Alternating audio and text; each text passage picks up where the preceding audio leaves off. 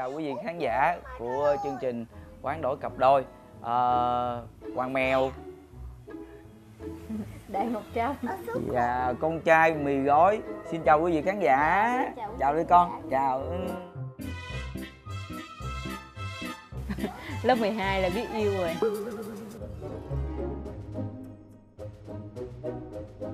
Nói biết ông ghen?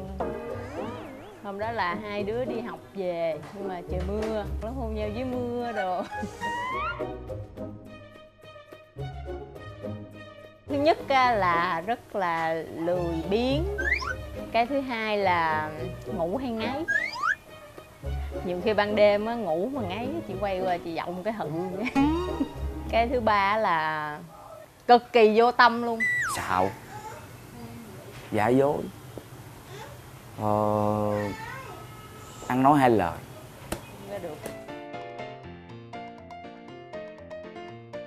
Út xã ơi bớt vô tâm với vợ phải quan tâm với vợ con nhiều hơn bớt thời gian ngủ lại đi Chị dậu hả? Ủa, Chị dậu đúng không? Rồi Vậy thì chị dậu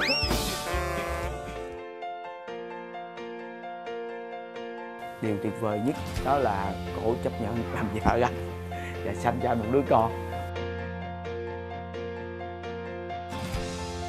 Ờ, một người phụ nữ biết lo lắng cho chồng, cho con, cho gia đình Anh yêu vợ lắm.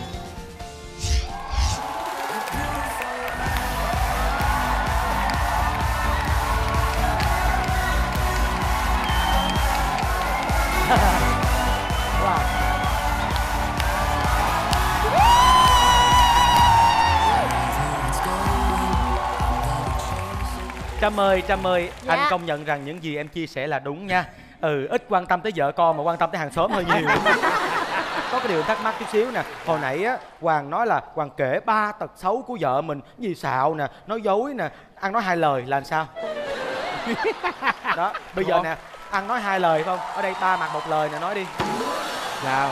Sao? Đã ăn nói hai lời là ờ, Bà nói là bà sẽ mua cho em ờ, cái đồng hồ. Mà cuối cùng bà không mua em cái đồng hồ mà mua cho em một cái đôi giày. Ăn nói hai lời.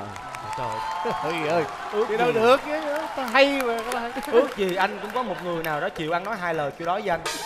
Ôi ơi, vậy còn muốn cái gì nữa em ơi? Mà thật sự cũng phải ăn nói hai lời Sau đó bà đưa luôn cái đồng hồ. Luôn À. Đó Như bây giờ mới biết người ăn nói hai lời là Lê Hoàng chứ phải Trâm Trâm ơi Trâm hiền vậy Trâm? Không xả em xài sợ em cơ đó mà em đứng nghiêm cười không vậy? Dạ để em về nhà em xử anh chứ xử ở đây mất công ta nói chết À Dạ. vậy đây là ác ngầm phải không em? À, Cặp đôi này à, là hai diễn viên sân khấu có thể xem như là một cặp đôi vàng của sân khấu hiện nay đó. Bởi vì anh biết hai em từ cái ngày mà hai em bước chân vào trường sân khấu điện ảnh tới giờ rồi sau đó gắn kết với nhau. Đến nay là bao nhiêu năm rồi em?